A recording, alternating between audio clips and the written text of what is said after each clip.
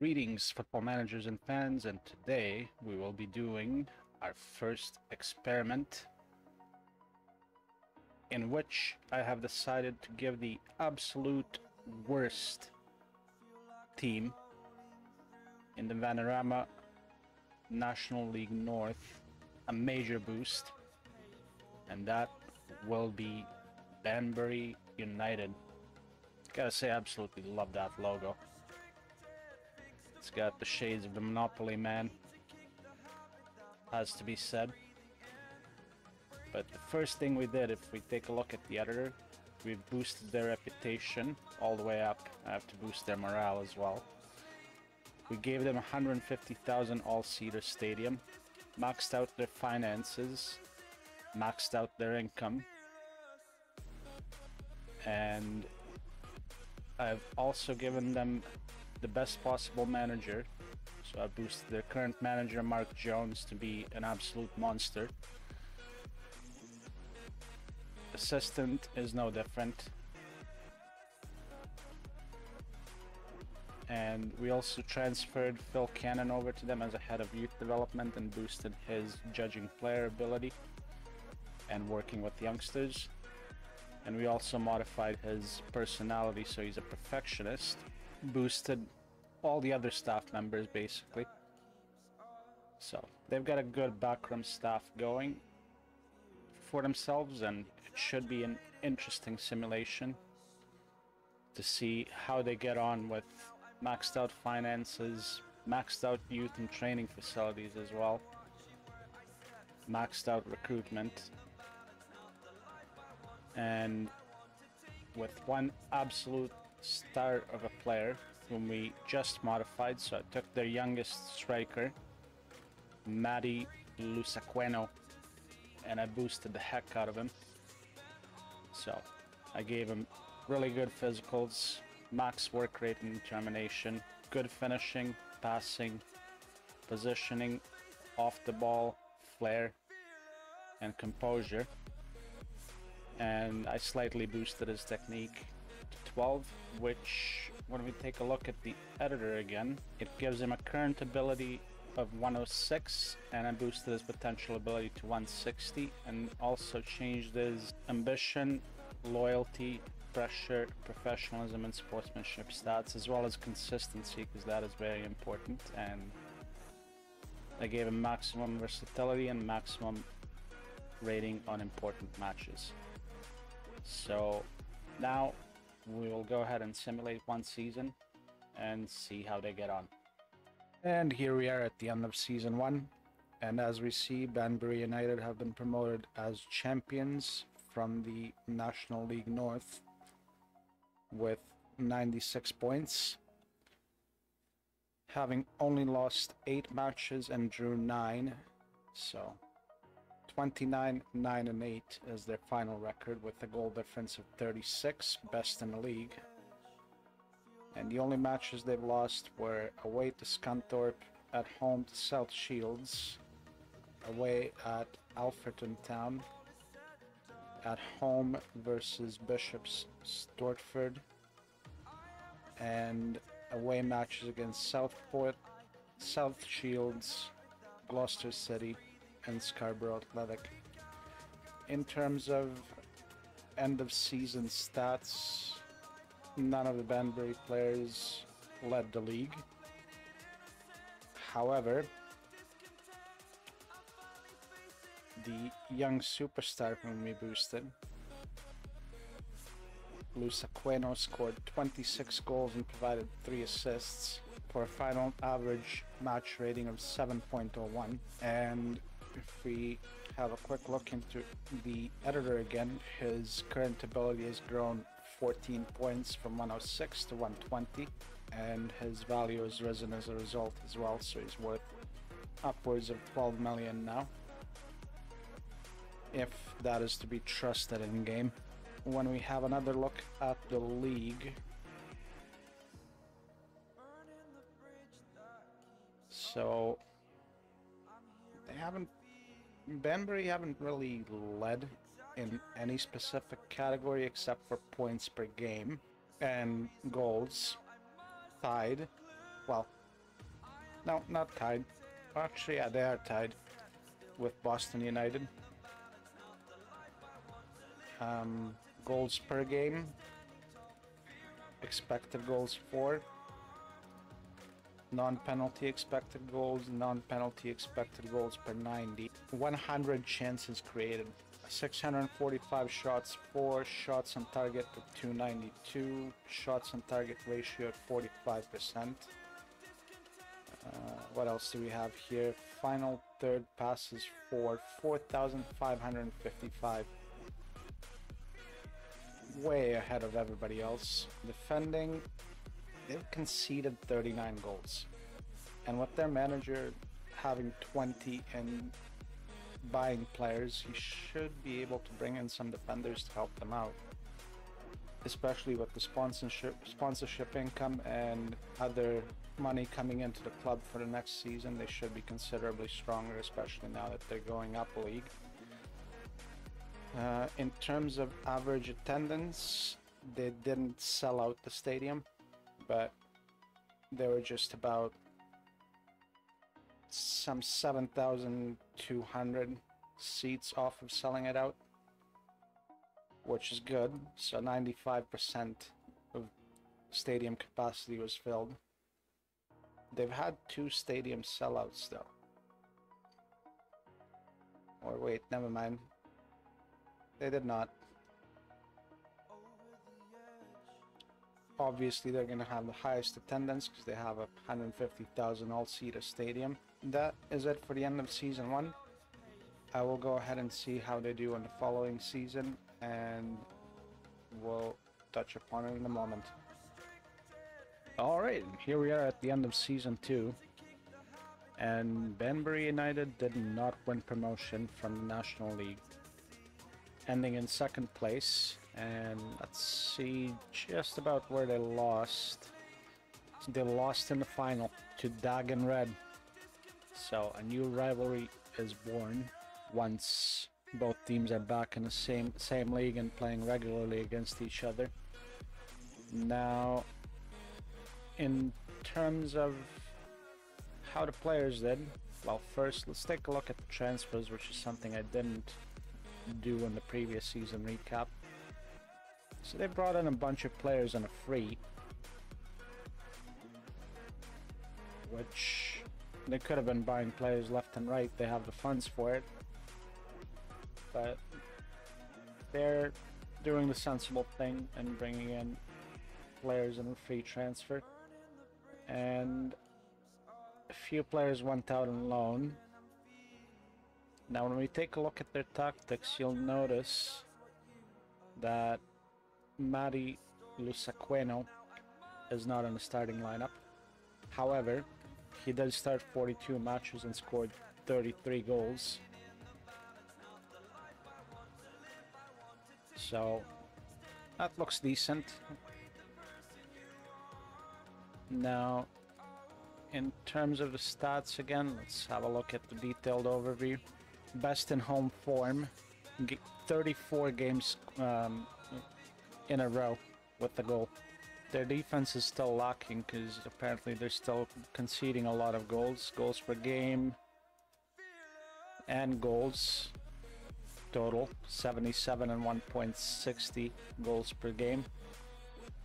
A little bit on the lower side, but that's okay. Expected goals for 85.63 non-penalty 84.82 non-penalty expected goals per 90 1.77 chances created shots for and shots on target. Once again league leaders. Final third passes 5298 oh, almost a thousand above Crewe Alexandra who are in second place in that category. 19 clean sheets. Possession won 5,595 times. Tackle rate at 79%. Uh, shots against, unfortunately, were they were the, the leaders in that category too. Final third passes against as well. And of course, once again, average attendance. This time dropping from 97% to 95%. So, or was it 95 last season too? I think it was actually. Yeah, it was 95%. So yeah, that is it for the end of season recap. It looks like they will be in Vanarama National League for a second consecutive season, and we will see you back at the end of season three. Alright, so at the end of season three, Banbury United have been promoted as champions. So they will be moving into Football League 2 for the following season. Now, in terms of stats, let's have a look here.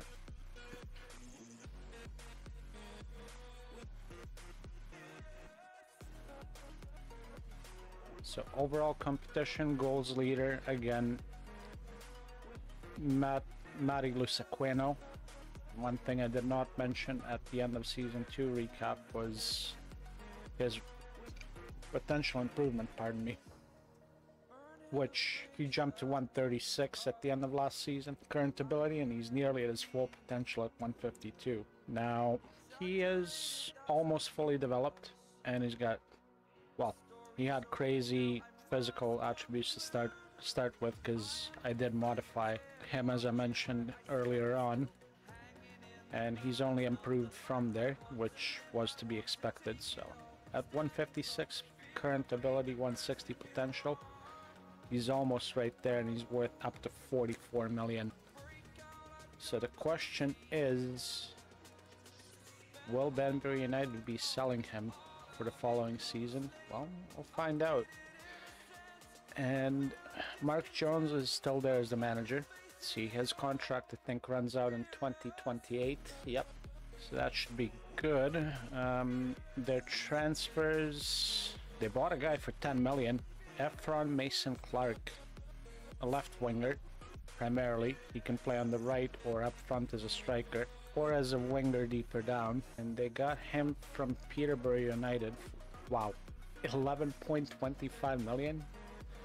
I think they overpaid there. Now, looking at league stats. So, again, best home form, best average possession. So that's going better than it used to. Points per game, 2.57. Expected goals for 89.06, which is up by about 2 from last season. Non-penalty expected goals up about uh, 1.1 goal or so from last season. Non-penalty expected up by about 0.1. Again, all of this is com comparison to the last season. Passes completed. Wow, 21,498. Again, third season running, and they top the charts in goals conceded. So, the manager is definitely not doing his job at bringing in adequate defenders to help the team out. They're sticking at about 95% attendance by capacity for the third season in a row. And yeah, it's looking like they could be doing better. Now their reputation has dropped off from when I modified them last season. Their training facilities and youth facilities dropped by half a star, but they've been upgraded again. And there was one ch change that they made on the coaching staff, and that was bringing in two heads of youth development. Ed Vahid, who actually looks pretty decent, and Cristiano Ronaldo. Now, how he became a head of youth development beats me, but Ronaldo is the head of youth development at Banbury United, which sounds hilarious to me. But it is what it is. The rest of their staff are all filled out and looking the same as they did last season. There definitely could be some potential upgrades there, but Mark Jones is the one who should be deciding on that, unless he leaves that up to a technical director like I usually do. which uh, they don't actually have one of those. So, again, at the end of the season, Banbury United are finally promoted from the Vanarama National League as champions. 118 points with only two losses, losing 2-0 away at Hartlepool and 1-0 away at Sutton United. 7 draws and 37 wins. Alright, so the end of season 4 sees Banbury United promoted as champions from Skybet League 2 with 125 points and only one loss to their name. 40 wins, 5 draws, 1 loss in 46 matches. Once again, none of the Banbury players featured in the player stats columns. However, Ronaldo has managed to find a gem and that's Reese Harries here, or Rice Harries, pardon me. What a player he is, and he's only 17. Already looking like a beastly player. And if we take a look at his potential ability, it's 175 in the editor. And current ability of 129 for a 17 year old. It's been a long time since I've seen something like this but needless to say, he's managed to find a really good prospect. Now, in terms of the attendances for the league, if we take a look at that here, again, we're topping out at 95%, or they are, I'm not managing the club. So it hasn't changed. So 150,000 all-seater capacity stadium, sees on average about 142 to 143,000 attending the games. And I mean, considering the boost we've given this club, they've got to be rich by now. Samari Lusaqueno was actually sold to Brentford for 24.5 million. And if we have a look at his entire career for, while playing for Banbury United over four seasons.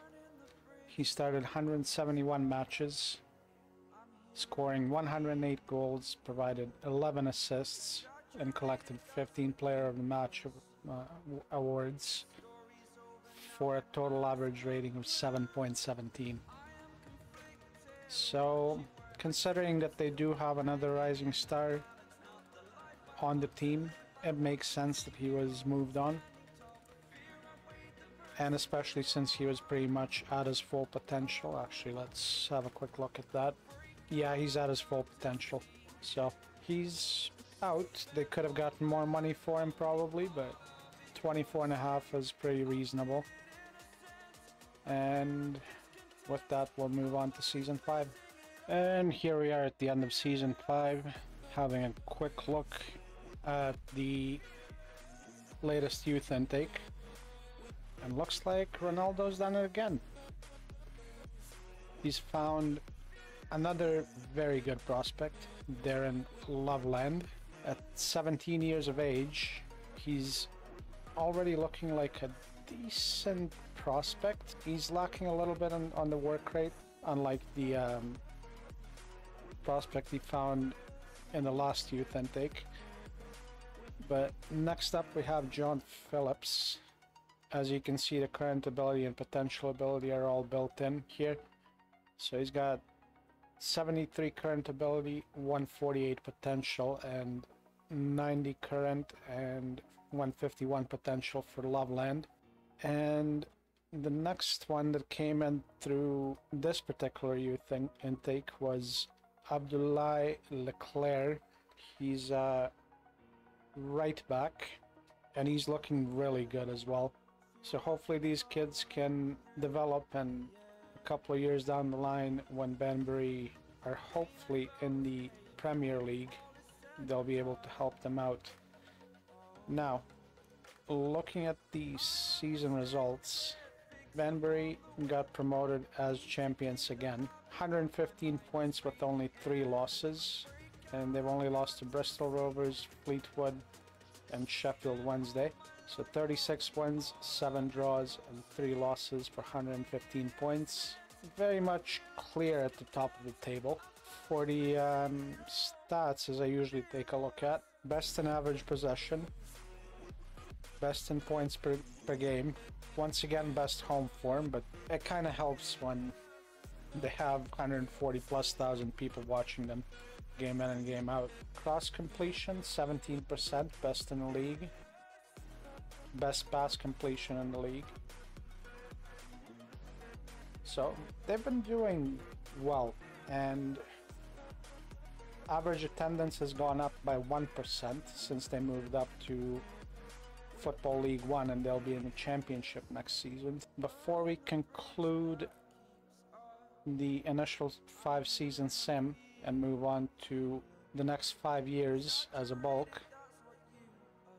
Let's have a look and see how the players performed. So first off, their tactics. Since they haven't changed the manager, he prefers using a 4-2-4 and he's been using that throughout their entire journey here. Although it does look like they might have sold the kid that was found by Ronaldo. I keep forgetting his name. Yes, they did. 39 million. 60 million potential potential value over to Tottenham. Oh, wow. Oh, it's not a surprise. The kid's a beast. Three seasons in Banbury. He played two seasons for them. And scored 33 goals in 63 appearances with a 7.22 average match rating. But to get 39 plus million for him, that's that's a good deal for them. Overall, pretty smart transfers. We see they brought in Jeremy Doku from Man City, uh, Brindelli from Luton Town, and Fabio Silva from Wolves. That's looking all right for them. I'm curious to see how they'll do in the championship and beyond.